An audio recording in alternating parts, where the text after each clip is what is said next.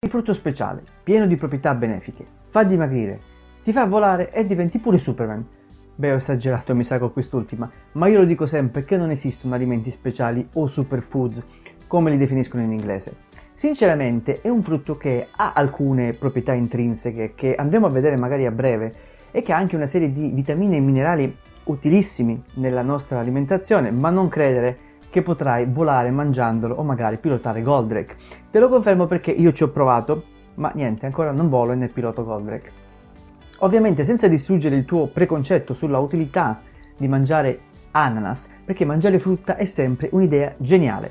Prima di cominciare, se non sei parte di questo progetto salutista, puoi sempre iniziare a farne parte in qualsiasi momento, iscrivendoti a questo canale e cliccando sulla campanella delle notifiche.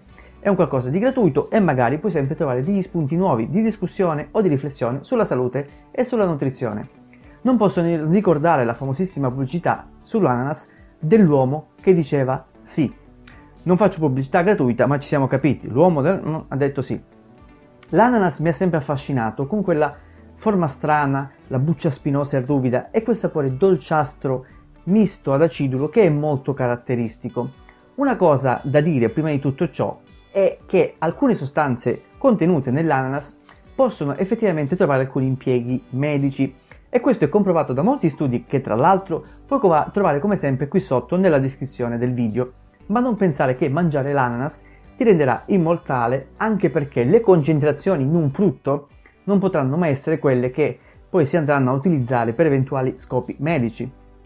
Un esempio molto pratico è la bromellina che è contenuta appunto nell'ananas e che è comprovata essere un ottimo aiuto per le terapie antitumorali del cancro al seno, come anche un suo utilizzo nella riduzione degli stati infiammatori è anche una cosa comprovata in ambito eh, scientifico. Un aspetto molto interessante e curioso allo stesso tempo è che la bromellina viene anche utilizzata come un additivo industriale per ammobilire i fasci muscolari delle carni, soprattutto quelle inscatolate. Questo aiuta a rendere la carne più tenera per il consumo umano. È una cosa che puoi fare tranquillamente a casa anche tu, mettendo a mollo la carne nel succo di ananas a marinare, magari per un paio d'ore, la renderà un po' più tenera per quando la andrai a preparare per cucinare. La composizione è tipica della frutta, contiene tantissima acqua, ovviamente, e per cui è un ottimo frutto da consumare magari o soprattutto nel periodo estivo. Se sei un calabrotto come me, ad esempio, se vivi o se vivi in una città caldissima, è un ottimo metodo e gustoso per introdurre dei liquidi. Prima di continuare ti volevo come sempre ricordare che mi trovi anche su tutti i social networks. Mi trovi presente su Facebook, su Instagram e su Twitter e se questi contenuti ti piacciono e sono di tuo gradimento, per favore condividili per farmi crescere e portare questo messaggio salutista a più persone possibili.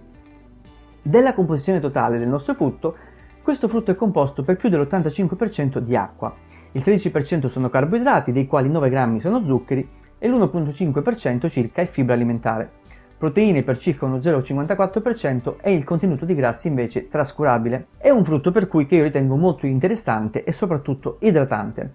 Ma cosa succede se andiamo a parlare invece di micronutrienti? A parte una vitamina e un minerale, purtroppo il resto dei nutrienti, micronutrienti, pur andando ad aiutare magari a incrementare la quota necessaria giornaliera, sono diciamo in quantità minime, per cui al di sotto del 10%. Fra le vitamine spiccano quella C, la vitamina C, questa è presente addirittura per il 58% della quantità giornaliera, ovviamente per 100 grammi di parte edibile. Per il resto, a parte la B6 col 9% e la B1 col 7%, il resto sono tutte in quantità minime. Per quanto riguarda invece i sali minerali, come dicevo prima, abbiamo solo un elemento che è il manganese, che è presente in maniera molto rilevante con circa il 44% della RDA, il resto, tutto quanto il resto è veramente molto ma molto trascurabile. A differenza di quanto ho sempre pensato, a mia ignoranza purtroppo devo dire, il maggior produttore mondiale è la Costa Rica. Non so perché, ma io ho sempre pensato e creduto che invece fosse il Brasile. Vabbè. Il Costa Rica, Costa Rica ha una produzione di mondiale di circa 3.1 milioni di tonnellate annue. Sarà che io vedevo l'uomo di quel, monte, di quel monte lì e diceva sì e, e pensavo fosse un brasiliano, ma mi sa che ero troppo piccolo. Come utilizzarla in cucina? A parte la pizza Hawaii con ananas e prosciutto, mm, che non ha senso, ci sono molti, molti, modi più sensati di utilizzare questo favoloso frutto. Nelle cucine creole è particolarmente utilizzata così come anche nei piatti agrodolci, soprattutto in quelli cinesi, thailandesi o delle Filippine. Anche la famosa pigna colada, cocktail, famosissimo a base di ananas e di crema di cocco, o se viene fermentata, anche una famosissima bevanda messicana, il tapacé. Come hai ben capito, visto che non l'ho mai citato, e qui te lo voglio confermare, non esistono prove scientifiche che l'ananas faccia dimagrire lei o i suoi estratti. Non c'è prova scientifica. L'unica cosa che fanno dimagrire le ananas è il tuo portafoglio se vai a spendere soldi per comprare integratori a base di ananas. Cosa però da tenere in considerazione è che è un frutto poco calorico. Infatti, pur contenendo tanti zuccheri, eh, le ananas sono composte principalmente da acqua e da fibre, per cui parte, possono far parte delle diete dimagranti perché fra acqua e fibra tendono ad avere un ottimo potere saziante. Per questo motivo è opportuno mangiare il frutto fresco invece che quello in scatola perché a quello invece ci viene aggiunto un succo a base eh, zuccherina come conservante mh, che appunto fa aumentare l'apporto calorico.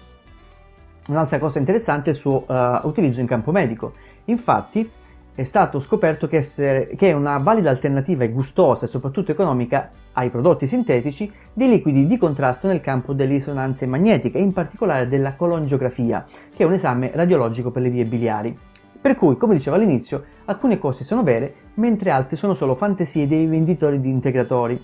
Un ottimo spuntino che ti posso andare a consigliare da fare con l'ananas è quello di mangiarlo assieme a, dei, eh, delle noci miste, che è uno spuntino utilizzato da Jason Statham, attore e anche un grande praticante di arti marziali, l'attore che ha fatto The Transporter.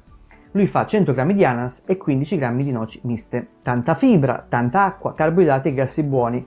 È solo un'idea, eh, ma è una, un'idea secondo me gustosa e valida in quanto tende a creare un contrasto fra il dolce acidulo dell'ananas e il gusto particolare che tutte le noci miste possono andare ad avere. Bene, mandami un'email a info-letmefood.com oppure lasciami un commento qui sotto se vuoi chiarimenti o altre domande su questo o su altri argomenti. Questi contenuti, come sempre, li trovi anche sotto solo forma di audio podcast su tutte le piattaforme che trovi nella descrizione qui sotto. Visita anche il mio sito internet che come sempre è www.healthmefood.com. Bene, anche per oggi ti lascio andare per cui mi è rimasta solo la cosa più importante da dirti che è Eat well, live well and smile e ci vediamo al prossimo video. Ciao!